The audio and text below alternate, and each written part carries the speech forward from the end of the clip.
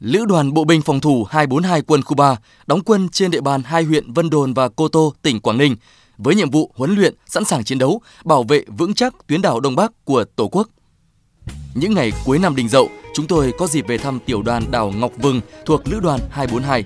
Tuy ở nơi đảo xa, nhưng chúng tôi đã cảm nhận được không khí của mùa xuân, của ngày Tết Mậu Tuất đang ngập tràn trong đơn vị. Trên gương mặt của mỗi cán bộ chiến sĩ đều hiện rõ niềm vui tươi, phấn khởi.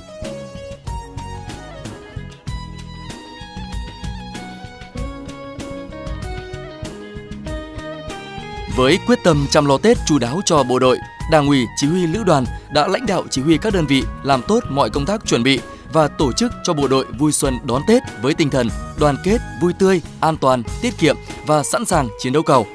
Điều kiện trên đảo còn nhiều khó khăn, nhưng được sự quan tâm của chỉ huy các cấp, đời sống vật chất, tinh thần của cán bộ chiến sĩ đều được đảm bảo đầy đủ. Mầm ngũ quả, canh đào, bánh trưng cũng được chuẩn bị từ rất sớm. Các hoạt động vui chơi cũng được đơn vị tổ chức chặt chẽ, sôi động như đá bóng, kéo co, tạo không khí vui tươi, đoàn kết trong toàn đơn vị. Để bộ đội có một cái Tết à, vui tươi và phấn khởi thì chúng tôi cũng à, thực hiện rất là nhiều các cái nội dung ví dụ như từ công tác à,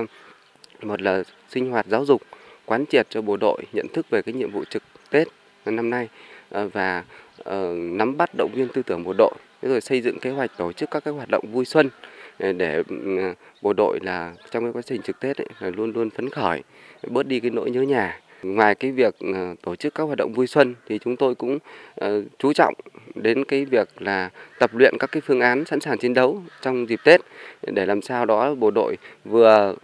phấn khởi trong dịp Tết nhưng cũng vừa có tinh thần sẵn sàng chiến đấu cao, không để bị động bất ngờ trước mọi tình huống. Đúng như khẩu hiệu, đơn vị là nhà, đồng đội là anh em. Mặc dù đón Tết xa gia đình, xa người thân, nhưng ở đây luôn ấm tình đồng chí, đồng đội –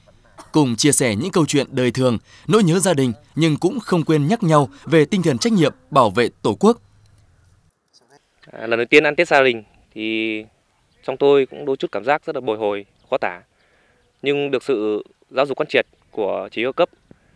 thì tôi nhận thức rằng nhiệm vụ trực Tết đối với tôi là một nhiệm vụ có vai trò hết sức quan trọng. Bởi vì thông qua đó thì tôi có thể đóng góp được một phần công sức nhỏ bé của mình để có thể giữ được sự bình yên trên tuyến đảo Ngọc Vừng. Có đó thì giúp bà quan ở đây có thể đón được một cái Tết thật là bình yên và hạnh phúc.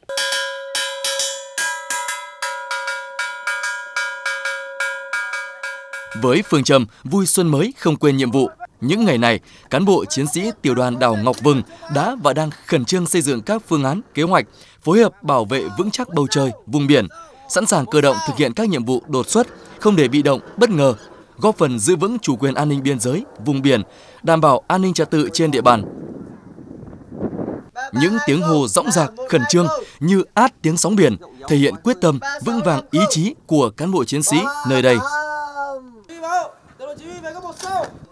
Cùng với nhiệm vụ huấn luyện sẵn sàng chiến đấu, công tác chính trị tư tưởng đã được Đảng ủy, chỉ huy đơn vị lãnh đạo tổ chức quán triệt để mọi cán bộ chiến sĩ của đơn vị nắm chắc nhiệm vụ tình hình địa bàn, âm mưu, thủ đoạn chống phá của các thế lực thù địch, đặc biệt trên tuyến biển đảo, kịp thời quan tâm, động viên, khích lệ cán bộ chiến sĩ thêm vững vàng ý chí và yên tâm trực Tết.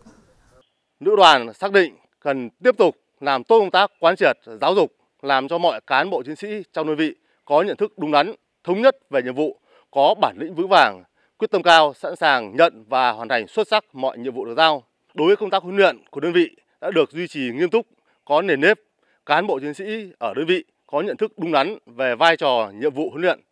Bên cạnh đó, tổ chức quan tâm chăm lo đầy đủ về đời sống vật chất, tinh thần đến cán bộ chiến sĩ ở trong đơn vị, bảo đảm đầy đủ chế độ tiêu chuẩn cho cán bộ chiến sĩ trong dịp Tết. Hòa chung không khí đón Tết trên mọi miền đất nước, tại phòng sinh hoạt chung của tiểu đoàn đảo Ngọc Vừng, cán bộ chiến sĩ toàn đơn vị cùng nhau quây quần để đón giao thừa, chào một năm mới với những niềm tin và hy vọng mới. Trong không khí vui tươi, đầm ấm ấy, nhưng tinh thần các anh vẫn luôn hướng ra biển lớn, không quên nhiệm vụ và trách nhiệm cao cả của mình. Chúc các cán bộ, chiến sĩ tiểu đoàn đảo Ngọc Vừng nói riêng và lữ đoàn 242 nói chung vững vàng trước sóng gió biển khơi và luôn mạnh mẽ, kiên cường giữ vững biển đảo quê hương để tuyến đảo Đông Bắc luôn được bình yên, góp phần tô thắm thêm mùa xuân cho đất nước.